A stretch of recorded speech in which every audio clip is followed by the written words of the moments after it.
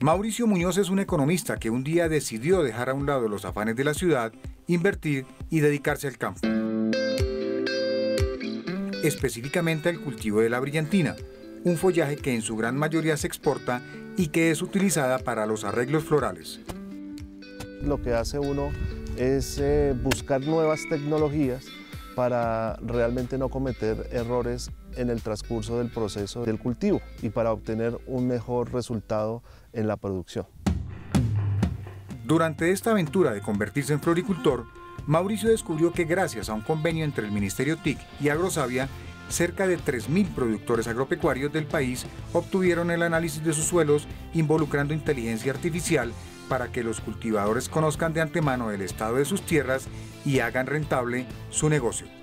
Se toman diferentes muestras, se lleva o se envía a Agrosavia. Es un proceso que dura de 12 a 15 días hábiles el estudio. Ahí se toma la decisión de saber si sí es bueno o no es bueno para el cultivo aplicar lo que el fertilizante que íbamos a aplicar.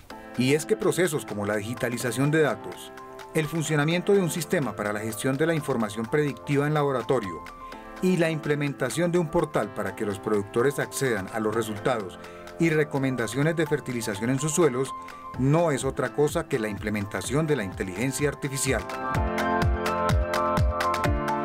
La incorporación de la, de la inteligencia artificial es un software que lo que hace es recopilar toda la información de todos los planes de fertilización que nosotros teníamos años anteriores, alimentarse de esa información, dar una interpretación, dar un diagnóstico y dar unos resultados. La inversión en este proyecto es de 950 millones de pesos y busca contribuir al desarrollo y fortalecimiento del campo.